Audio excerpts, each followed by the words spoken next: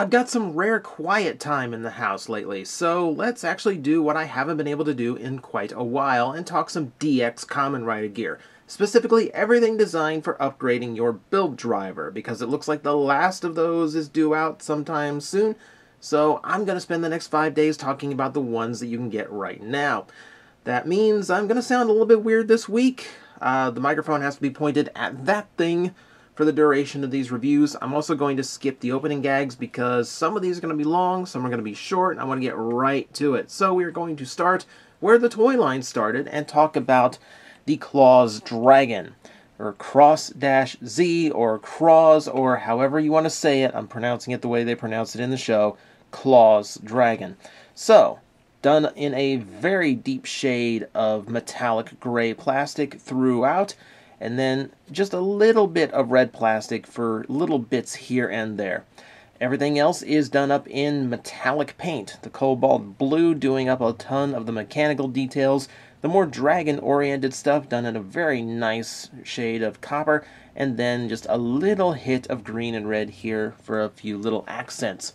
It looks quite neat. I do like the idea of just a little pet dragon for one of the Kamen Riders to pal around with even though it wasn't used like that for very long.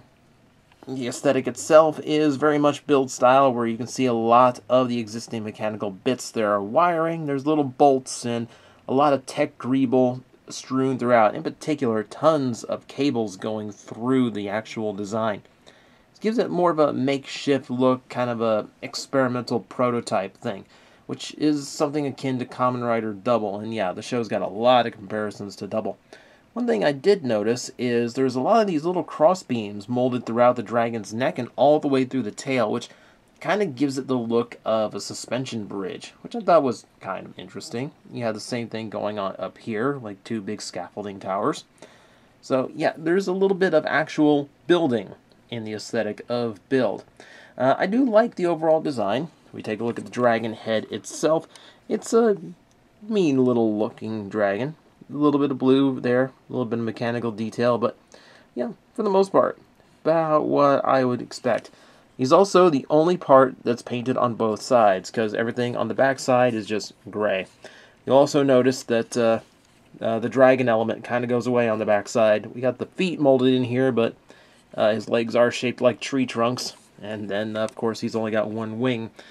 Uh, someone play the Sephiroth music. But, yeah, he's a pretty simple little guy. So definitely designed to only be seen from one direction. Now, on the underside, he does have an on-off switch. He's the only toy this week that does, and I think a lot more needed it. But we'll talk about that in due time. For now, we will turn him on. So, text sound effects aside, the big red thing is the button that activates sound effects. Right now, we have but two available to us as such. And that that noise is a little bit Kyoryuger for me, but otherwise, yeah, they are nice little noises and show accurate as you would completely expect. Now, before we get into its device mode, I'm going to introduce you to its full model counterpart, Dragon.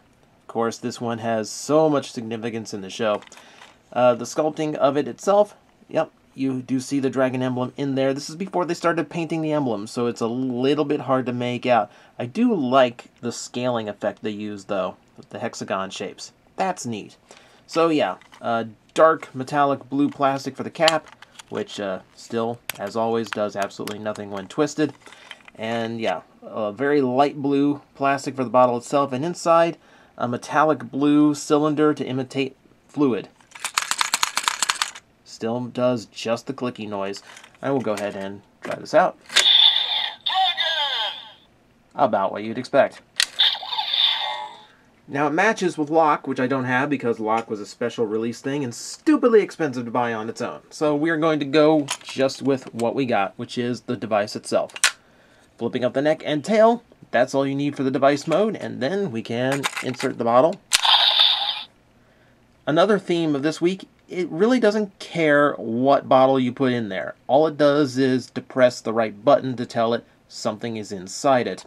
It could be any bottle, it doesn't read the little nubs, it doesn't have a track or anything, can't ID anything. It does, however, change noises when a bottle's inside.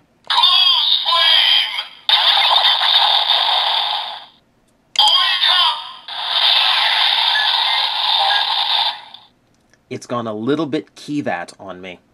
But with that said, we are ready to actually try out the Henshin sound effect. This is a little bit of a tight fit on the driver, so I would recommend when playing with it to have a nice grip on it as you drive it in.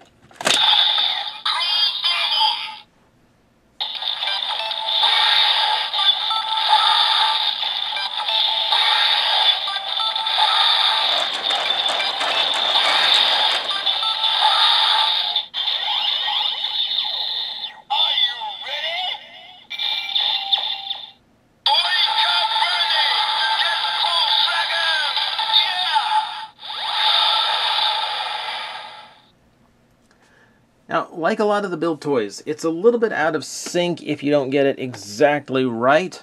Uh, it's a little bit weird that way, but for the most part, you know, it usually works well enough.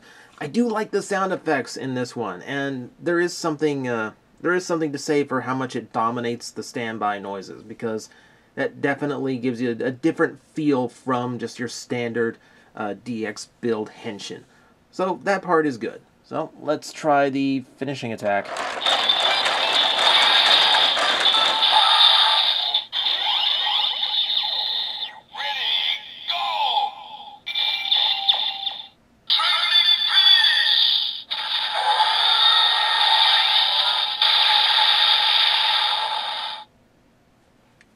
And simple as that.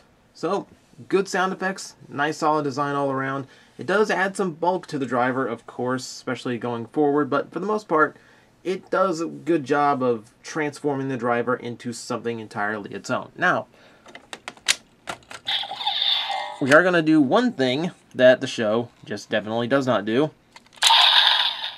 Let's see how it sounds without, because there is a little bit of uniqueness to it.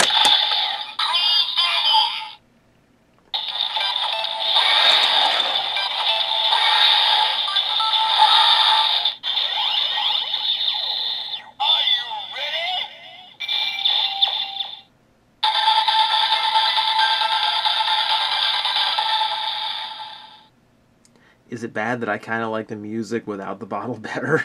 it might be. Uh, do we have another one?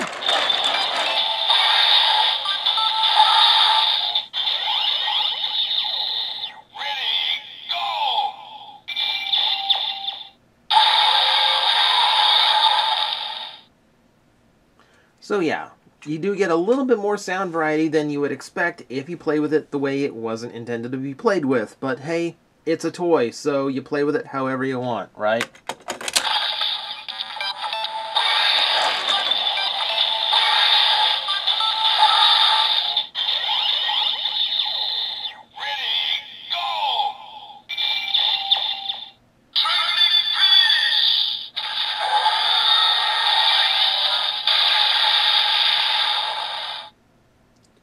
And with that, that is the DX Claws Dragon however you want to pronounce it. It's a fun little toy, and while it does have some drawbacks, you're pretty much going to be used to it if you know your Kamen Rider little transformy gimmicky toys.